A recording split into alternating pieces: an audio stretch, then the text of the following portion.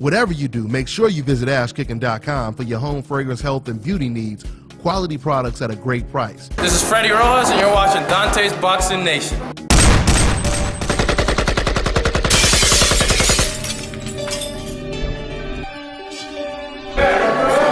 Dontae's Boxing Nation. I'm over here, one of the hottest prospects in the in the world right now. My Nothing just coming back from a tournament. Hey, congratulations! You won a real significant tournament. Matter of fact, go ahead and break down uh, this tournament that you just won. Uh, you we- qualified for the elite um, tournament, right? Yeah, break it yeah. down. For, so for this tournament, you have to fight for a spot in order to be in the elite team. So to go out of the country, like Germany, Poland, and stuff like that. Okay. Kind of like the Olympic, but like it's more lower class. Okay.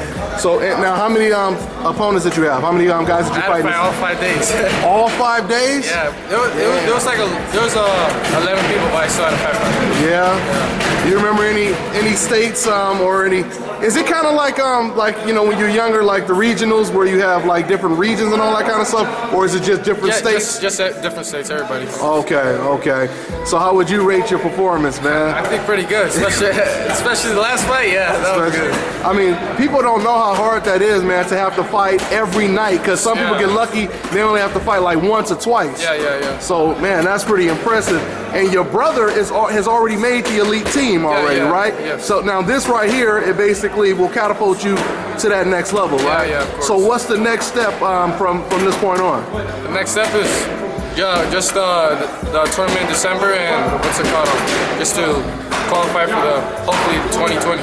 And hopefully, it so once again, so once you make it to the elite team, then that pretty much puts you in a position to be on the USA team. Yeah, yeah. That's pretty much what that is. Yeah. Man, that's really impressive, man.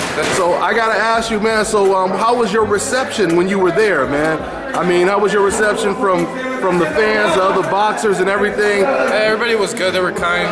Yeah. Sportsmanship, everything was fine. Uh, is this is this is the biggest tournament you've ever been in, or, or what?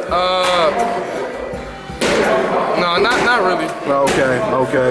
It's This, just is, this is like the this is the right now at this moment. Yeah, it's the biggest one. Yeah, yeah, because everything is on the line right now, Yeah, yeah, right? everything's on the line. Absolutely, absolutely, man. Well, we look forward to seeing you on your next one, man. Yeah, this yeah. is big deal, man. Sure. Because I know you can't wait to make that um Yeah, I can't wait. 2020 team, huh? Yes, sir. Yep. And just off the subject, real quick, you know, because we always got to blend it in with some boxing. So since I got your predictions before, what did you think about the um the Golovkin Jacobs fight?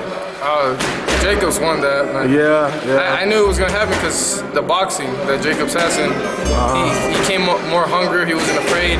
You know, it's just all the mentality. Uh-huh. Exactly. And speaking of the mentality, you know, that's something I noticed with you. Yeah. You're very, very intelligent in the ring. Yeah. So you do obviously believe it's more mental than it is physical when you're in that ring, right?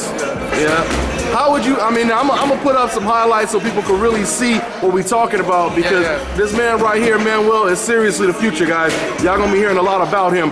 But since they haven't seen you, describe your style a little bit. I, I like to say my style is a little bit like Gamboa, but with the hands up one. Uh-huh. Absolutely, man. So that's what it is, man. All right, well, if you want people to follow you, let them know where they can find you, man.